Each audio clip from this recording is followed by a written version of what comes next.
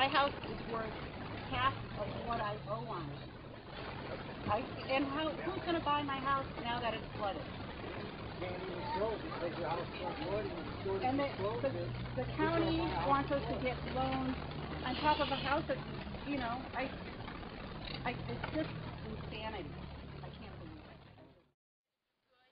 a lot of these, as you will see, about 80% of these people here are senior citizens that are probably living on their social security check and cannot afford.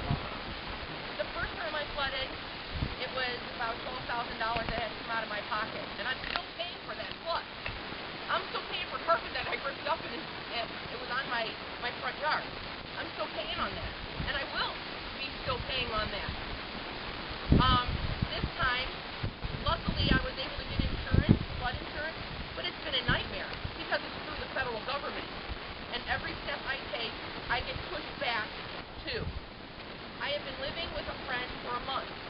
My son is living with a friend for a month. I haven't been in my house in a month. They just started working on it last Thursday, and hopefully I will be in week.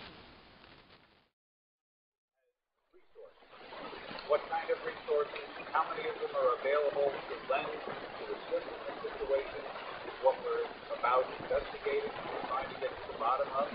Uh, a lot of times, counties, townships, when they're this sort of thing, uh, they just don't have the resources to vote for it. And they look at it, and all of you have been in a similar situation, and the flooding is a perfect example. You look at the devastation, you look at what happened to the homes, that feeling of, what can I do? Not a thing I can do. And sometimes what we can work on is bringing to a resources and making them available to the county. Because quite honestly, how those issues get addressed is something that I think we're doing. Right, the, the county and the township should be working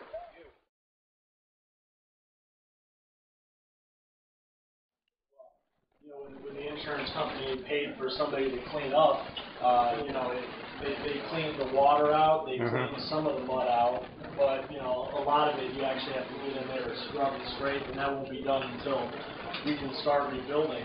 Um, but like I said, you said, you can see the water line on the, uh, on the outside wall, probably a good eight, nine inches up.